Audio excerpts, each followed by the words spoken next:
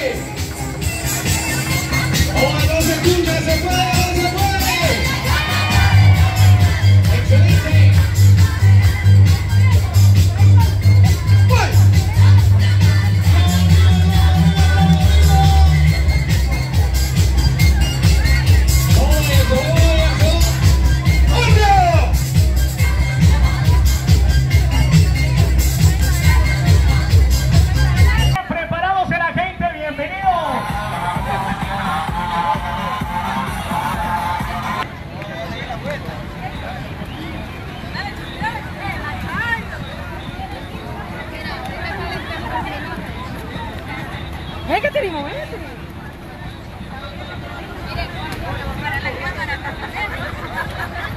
En el marco del Día Mundial de la Lucha contra el Cáncer de Mama se realizó una caminata bajo el lema Yo corro por ellas, en apoyo a estas mujeres que están padeciendo dicha enfermedad. Cada año en el mundo se detectan cerca de 2 millones de mujeres con cáncer y Nicaragua desafortunadamente no es la excepción.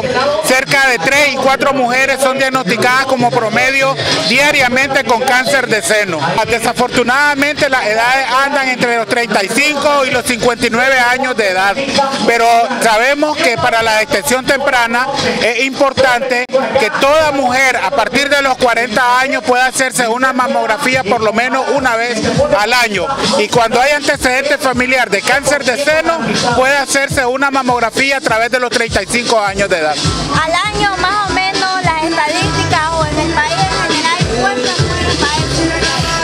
Aproximadamente cerca de 1.200 mujeres debutan con cáncer de seno. Si nosotros hablamos de los últimos tres años, estamos hablando casi de 4.500 mujeres en los últimos tres años y esa es una cantidad enorme. La mortalidad bueno, en la mortalidad desgraciadamente se ha convertido en la primera causa de cáncer, de muerte en la mujer.